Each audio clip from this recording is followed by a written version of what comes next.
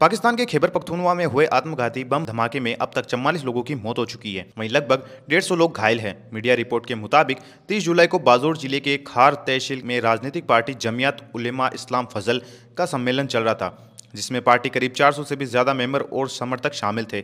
इसी दौरान शाम चार बजे अचानक बम का धमाका होता है। खैबर पख्तूनवा प्रांत के स्वास्थ्य मंत्री रियाज अनवर और अंतर्राष्ट्रीय न्यूज़ एजेंसी एएफपी को बताया था कि हमलावर ने स्टेज पर धमाके को अंजाम दिया।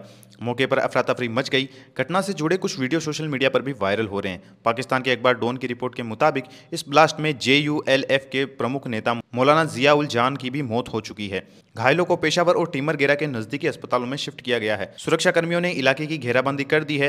पार्टी प्रमुख मौलाना फजुल रहमान ने पीएम शहबाज शरीफ और प्रांत के कार्यवाहक मुख्यमंत्री आज़म खान से घटना की जाँच की मांग की है। उन्होंने पार्टी कार्यकर्ताओं से अस्पताल पहुंचकर रक्तदान करने की भी रिक्वेस्ट की थी।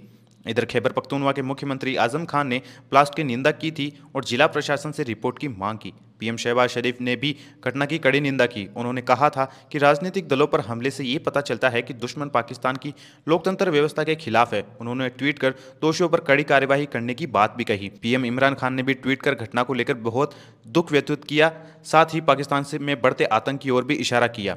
अब तक किसी भी आतंकवादी समूह ने इस हमले की ज़िम्मेदारी नहीं ली है, लेकिन मीडिया रिपोर्ट के मुताबिक इस्लामिक स्टेट यानी आईएस ग्रुप ने हाल ही में जेयूएलएफ पार्टी के खिलाफ कई सारे हमले किए थे। इस हमले का शक भी उन्हीं के ऊपर है। अगर इस मामले में कुछ और अपडेट आते हैं तो आपको टीवी भारत 24 पर देखने को ज़रूर मिल जाएँगे।